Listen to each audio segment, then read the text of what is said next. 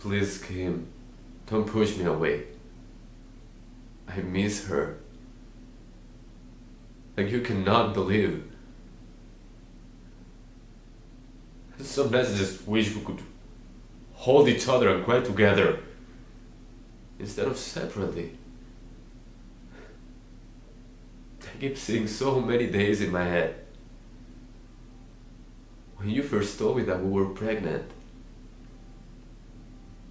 at the hospital I watched you give birth,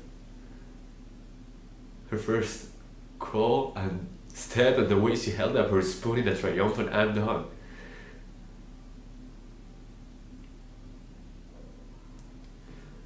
But there is one night in my head that keeps coming back to me. I don't know why.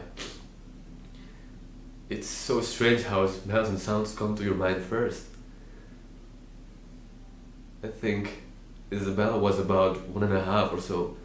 It was fall. I remember it was fall right before Halloween because some of our neighbors were burning leaves. I like that smell. Poor little Bella cried all night because she had that terrible, miserable cold. She couldn't breathe. All stuffed up, uh, she couldn't breathe, and you just about had it. You were so tired, nothing had worked. She was fighting, taking her medicine, but she just wouldn't stop crying all day.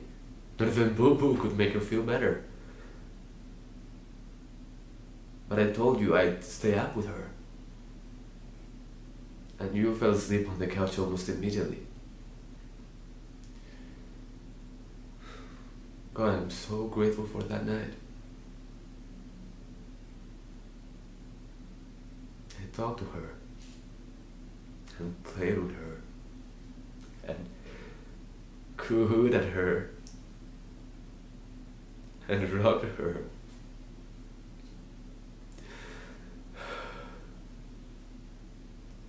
Finally, in the morning, right before dawn, she fell asleep. I was still holding her when you woke up. She looked so peaceful. I felt really good, like I had done something. You put your feet on my lap. We didn't say anything, you just smiled at me and kissed me. Your face was so warm. Both of us were looking at Isabella, and you said, You said, You are a wonderful father.